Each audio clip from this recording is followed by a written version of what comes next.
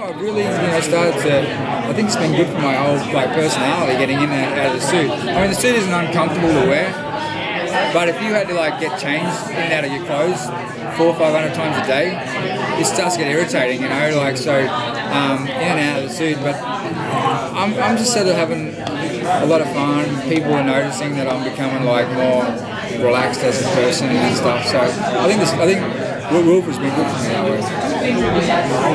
That's a story in itself. You're, you're learning from And it's all to do with apparel. nothing, nothing internal. There's, no, there's nothing about the actual character of Wilfred. It's just the suit. That's the You should start therapy based on.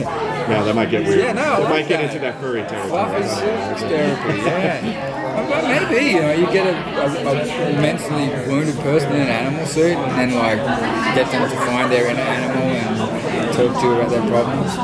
Maybe, there's something recently someone was saying, you know, like, well, I was thinking of opening up an agency of, like, brash Australian males, men that, like, come and become your, like, your, li- like, personal trainer, like, life coach. Turn basically hang around you in an animal suit, turn your life upside down. Because people always writing to me and saying, you know, I want a Wilfred, I want a Wilfred. I'm like, dude, ser- really? Do you really think about that? And they're like, no, I want one. So maybe I should like create an agency and like sell like rent out Wilfreds. They see the semen episode. They, Semen, oh, you're right. Yeah, I still want it. That's in fact, that was when the request spiked after that episode. I want. I've got nothing, I want I that. I want what he's having. now you can charge a lot then for those Australian life coaches. Okay. How much of the character do you bring home with you, like off of set? Like how what's the comparison like?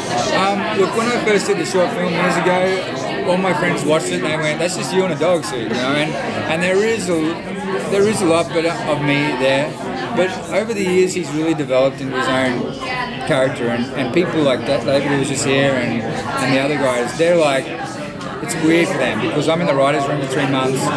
They I mean, we have the luxury of whenever we're pitching something funny, I can get up and do it, show them and know if it really works. But when they actually, when it goes into shooting and I go get in the suit and actually start doing it, they're like, wow, like you're good, and like we, we forget that you, we know you, but when you're Wilfred, it's, it's a complete different thing. And um, so look, I I'm getting better at switching off from work. I forget that I'm in Wilfred. I really do. Like now.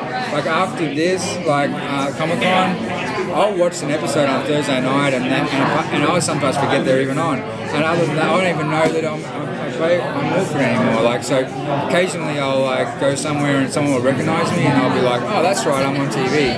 But, uh, but I mean, that's that's um, that's been as much a conscious decision as um, as I've been lucky that Wilfred disguises a lot of what I look like, so I don't get recognised as much.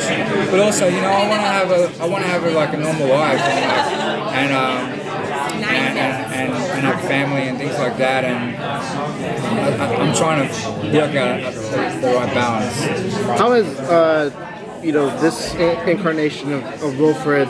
Do you think that the, the supporting characters that you have in this show and the relationship that is being bonded between Ryan and being pulled away from Ryan, how has that created Wilfred into something new and, and, and energetic for you to continue doing it for multiple seasons?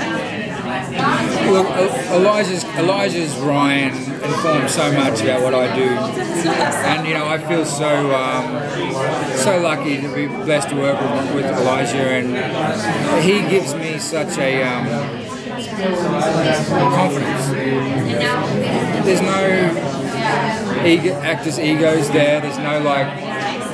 Some people, especially in comedies, are threatened by the, the funniest person, you know. But he, if he sees me doing something that's like working, I mean, I'm just throwing shit at the wall and seeing what sticks. And if he's and he'll like latch onto something. And sometimes I'll be surprised by how subtly like complex what I'm doing is. There was a there's a, an episode this year where um, they're it's like a Scooby Doo episode. They're chasing this new boyfriend of, of uh, I think it was episode three. This new boyfriend of um, of, of, of, of Kristen, and this character started coming out in me where, you know, he was talking about like he's going, well, I think we have all the information we need. You know, he's really, he's almost like this uh, Australian politician, the way he was speaking. And I just started talking like this, and he's like, what is that you're doing? What is that voice? And I'm like, oh, I it's kind of like you know, some sort of Australian politician. He's going, whatever you're doing, keep it going. And, and then before we knew it, everyone was like, everyone on set for weeks were coming saying, well, I think we have all the information we need. and so working with Elijah allows me to really take a bunch of risks that I otherwise might feel more intimidated to do.